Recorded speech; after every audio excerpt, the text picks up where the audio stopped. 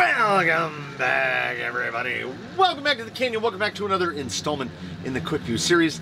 This is like a Quick View adjacent because we've pretty much already done this. Uh, this is not a uh, Deluxe Dravtech. This is, it's still not focusing. Ah, is anybody following the, sa the saga of my bench camera not focusing? This is what we've been calling a Chavtech, a fake Dravtech. That happens to be a 115 millimeter version. Uh, over here in the drawer, what do we got? What do we got?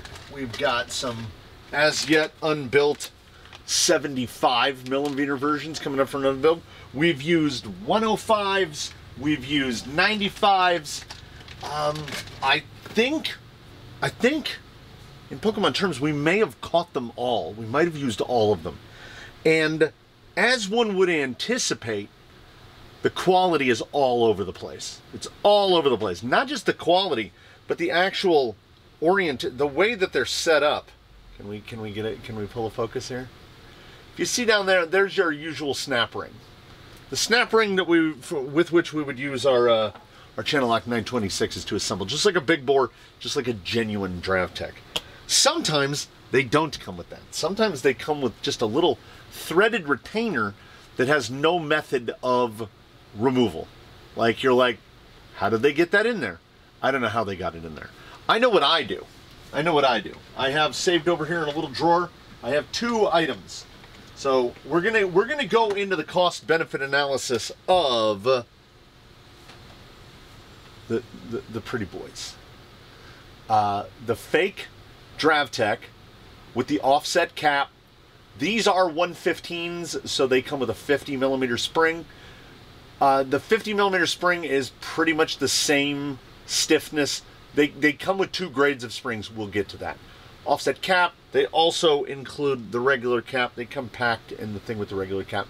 So you're getting two types of caps, but these right here, which all I had to change on those was pistons, as we've always had to, and the seal kit.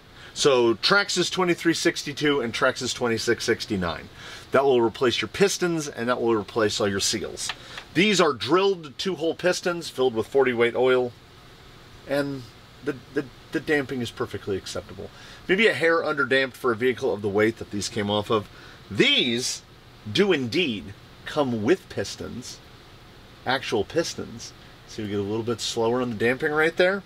Now, is it important that they come with pistons? Four slot pistons. Pistons that look like this. I mean, yes. Yeah, that's 10 bucks. Well, it's five bucks that you got to spend on pin, uh, on pistons, 250 a pack. So with these, you don't have to buy pistons. That is running 70 weight oil. I think you're probably comfortable anywhere between 60 and 100. Now, that said, if you don't already have uh, an entire platoon of oils, or your oils stop at a certain point, it's going to be cheaper for you to buy pistons and run a and run lighter oil. The Traxxas two-hole pistons are really good around 300 CST. Uh, I drill the two-hole pistons out to 1.5 millimeter, and I run them with 516 CST, otherwise known as 40 weight. These are running 70 weight, which is 900 CST. So triple what we would run on that on a three-hole. So this is 40 weight on a drilled two-hole, and this is 70 weight on a four-slot. See, they're they're pretty close. Now, heavier oils will leak out more slowly, so possible advantage. The bodies, as I mentioned, threaded retainer, and what I do is I have I have an old hinge pin. This is an old hinge pin from something Traxxas, and I've made two notches in it. I make those two notches in it. I insert it into this when the shock has been taken apart. And that allows me to make two, to set two dimples using a punch. And then I drill those with, good luck focusing on this, with the smallest bit that will fit inside my drill press, which is one millimeter. And I drill them about that deep. Probably two and a half millimeters deep. This allows me to use my snap ring plier, which I have for all others, to uh, insert and set the seal base. And we're going to loosen this one. because you can do this more like a traditional, like an associated element shock would have you. Because I can loosen that, see we're way loosened out if we would focus. We're way loosened out. That way, when we insert this through there, we, we have a, a less of a chance of snagging a seal. So it is the, the skinny spacer, two seals, 2X seals from the 2362, the usual stuff to put them together. Now what I did notice when assembling these, and as I said, your results may vary. You, you, you your odds, what you get as your retainer, whether it be this threaded guy or whether it be snap rings, uh, no one can say. You won't know until you get them. Can snug that down. They do feel, okay, I want you to listen. I don't know if I have anything that will, there's a definite machining, there's machining grooves on the insides of the body. Now, I don't know if that's explicitly critical because the, these are not drilled pistons, these are slotted pistons. So as was mentioned, the slots are around the outside edges. That generally, when we see slotted, that means we're going to be running heavier weight oil anyway. And those are pretty big slots. Those are like two millimeter slots. So as I said, we're going to go 70 weight.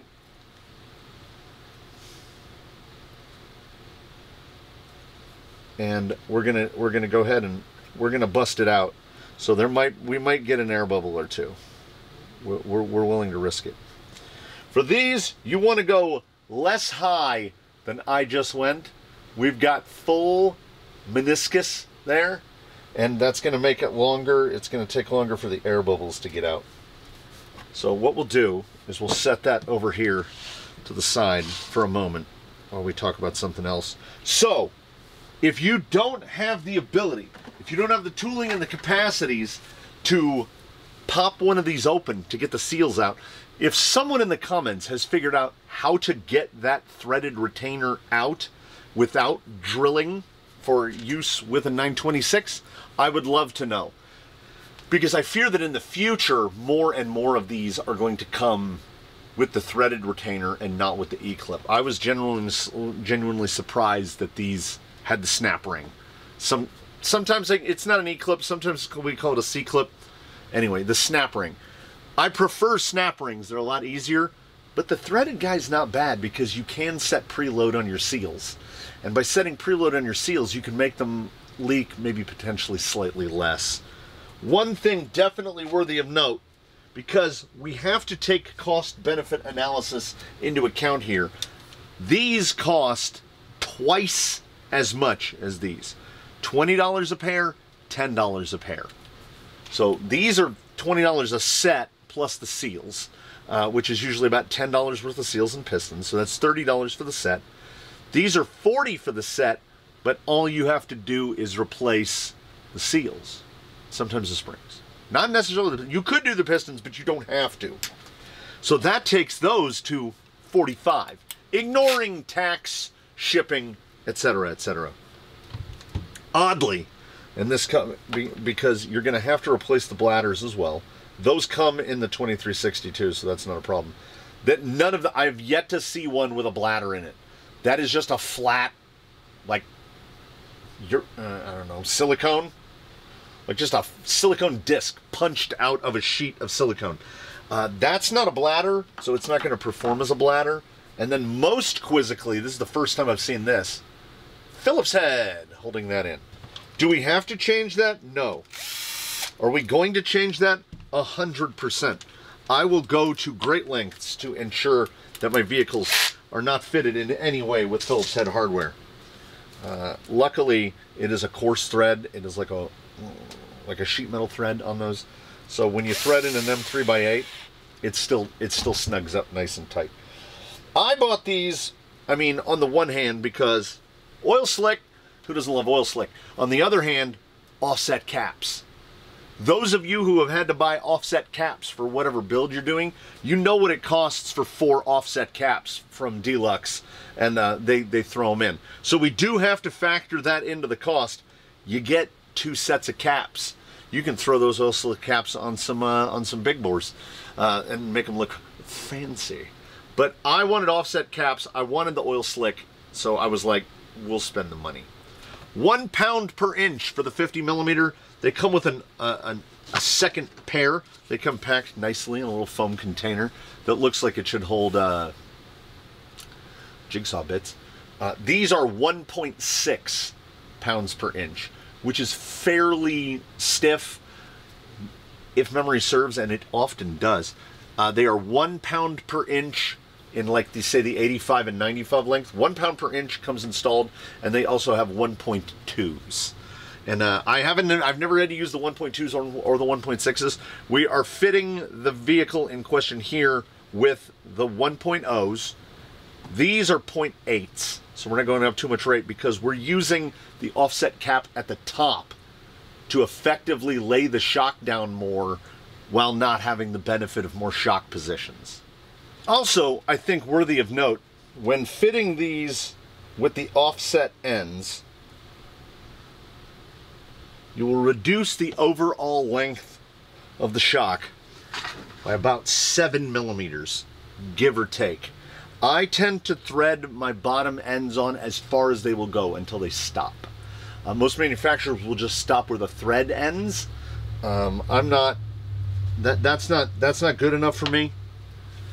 So we what we do is the piston is at about halfway. We'll press the bladder down and then we'll pull it down and hold it down. We'll wipe the big amount of excess off because now the shock is being held under pressure. You can hold it upside down and nothing's going to happen because that bladder is pulled effectively all the way in. So that is how we're going to, and oh, and very important to note, don't over tighten the offset caps. The offset caps give you too much leverage. Ordinarily, what I do is I grab them in our trusty shock pliers and I give this a, a good couple turns. I had one almost start to cross thread off while assembling it because it's thin. Uh, the tolerances are not to the same level that we're used to when we're buying like a genuine Dravtech so you can't, you could break these. You could break the caps. Go a little gentle on the cap. Unless you're using the straight caps, then I'm pretty sure you can just tighten those straight down because you can't exert as much force on them. Pliers, shock pliers on one or the other. You can either put shock pliers on the body or you can put shock pliers on the cap, but don't put it on both because you'll they don't need to be down that tight. So I keep going, I go, I go, and then we'll feel a point where it goes and basically stops. Also, very important to note, uh, when they cloned the Traxxas rod ends, they cloned it all the way down to the ball. These are Traxxas 5.7 by 6.3. If you have anything double shear, these are not going to fit. Uh, those date back to the 1980s. So you're just going to, what I tell everybody, whatever shocks are on your vehicle now, pop the hollow balls out of those, pop them into these. And then you will end up with a massive drawer filled with uh, 5.7 by 6.3s because you don't really have anything to fit them on. So this is part experiment. I wanted to see if there were qualitative differences between the $20 a pair and the $10 a pair. That servo is not in good health. And I mean, honestly, in terms like if you do this, and then we look at this, no, no, no, no, no waggle at all there. Standard Traxxas seal pack in there. I can feel the rasp. And there's a tiny little bit. That piston does not quite fit into the bore as good as a Traxxas pinion, as a Traxxas piston does.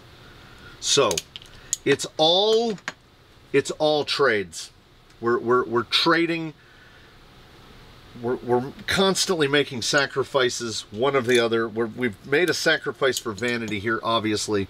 I think performance-wise, I don't think that we're going to get leaking. So I think they're going to hold oil just as well as the as the fakes, as the Chavtechs. Now, that said, those with experience will know that it is think of it as a world without quality control. Because some of them will leak and some of them won't and some of them will leak more than others. And you don't know what you've got until you've got it. So i have some that don't leak like virtually virtually no leaking at all. I have some that leak out of places that can only be explained by by not paying full attention to tolerances. Like this one, this has been in service for a while. There's no dirt and no stuff up in there. There's no oil down here at the bottom. There's no oil up around the cap. This one is a-okay. One of them that I pulled off had a mud ring around here. So it's squeezing oil out somehow. Maybe the bladder didn't seat right. Maybe the very top of the shock isn't completely round. These are all potential possibilities when it comes to shocks of this price point. So let's just uh, step out of the autofocus and, and roll that beautiful bean footage where you've got to ask yourself, do I have the time, the tooling, and the knowledge to turn these into an operable shock. It's not that difficult, but, well, with the snap ring ones, you buy some pliers and you're done. With these, short of drilling the holes, I don't explicitly know how other people are doing it. I don't know how to remove that thing. The first thing that popped into my head was get on the drill press, drill two holes in each one so we can remove them and replace them with snap ring pliers. And it works, but I know that it's not an option for everyone. So if the shocks show up and they have threaded retainers, you go, hmm, the included seals will leak badly. You can mount them upside down, which will help slow that down, but you're going to need to put bladders in them anyway. So what I'm saying is if you can't take them apart, it's probably best to just like I said, 45 bucks for these, which is within $10 of a set of TRA 2662s, the long, extra, extra long big bores, but not really, because the extra long big bores won't have cups or springs. These are still a value, even at $20 a pair, provided you can and will do the work to get them to perform. Yes? Yes. If you want to save money, just pick one of the other colors, uh, a color that you like, and be prepared for the exact same amount of labors. But the motivation for these is both the color and the inclusion of the offset caps. The color got me, the offset caps sold me. So here they are, and there they go. Um, odd with the orange springs. I don't mind the orange springs, but the ones that come on the on the regular color, like the orange one you saw earlier, uh, those just come with black springs. So the two specs is interesting. They're all 50 millimeter on the 115 shock. So these mount, as I said, to right around 108, about seven millimeters shorter. I'm fine with that. If I wasn't, I would have uh, put a longer rod end to bring them back to 115. But with the offset cap, you're getting the same amount of up travel, but in a shorter shock, which is okay. So it's going to hold you lower, but you'll have the same amount of up travel. So there are pluses and minuses. I understand that not everyone has DravTech money. I understand that not everyone wants to spend DravTech money. And if that is your case, then I am right there with you. I can't afford to put DravTechs on everything. And uh, nor do I think I would want to because these are economical and effective. So we're gonna, and they, and they keep giving us more options, which is great. So they're right there in in the running with the conventional fake DravTech, the crawler shock of Amazon and AliExpress fame, because the cost really isn't that much higher. Do remember, if you don't have your whole flotilla of oils, uh, probably cheaper to buy TRA 2669 and run the two hole with 300 CST or the three hole with about 50 weight, which is what is 50 weight in CST? Uh, 25 weight is 275, so it'd be 550. So about 550 CST. Like I said, these are filled with 900. And uh, we will see if they do the thing in some future installment, testing a tire or what have you. Uh, this happened to be the guy that is on the bench at the time because he needed the shocks. But remember how I couldn't do this? Uh, the, uh, the the multiple times repaired 50 kg I think has been repaired for the last time, or that pin broke again because uh, it doesn't it doesn't there should be like gear noises. So Wolverine and I, we thank you for dropping by. We hope that we've provided some insight into another version of cheap shocks because even at $45 a pair, I mean $45 a set, pardon me, $45 a pair used by DravTechs. At $45 a set, still not bad. Still not bad. And two sets of springs and two sets of caps. It's a value. If you don't like oil slick, I don't think they come with the two cap sets in other colors. Learn to embrace the oil slick. While you're doing that, learning to embrace, please do tune in for whatever we have next. In between now and that inevitable time, please one and I'll do your very best to have a good one, everybody. We will see you again here from the canyon where it is 106 degrees outside, and I didn't turn my swamp car on until too late, so it's 90 degrees in the building. Hopefully it'll be cooler next time, and we will see you then.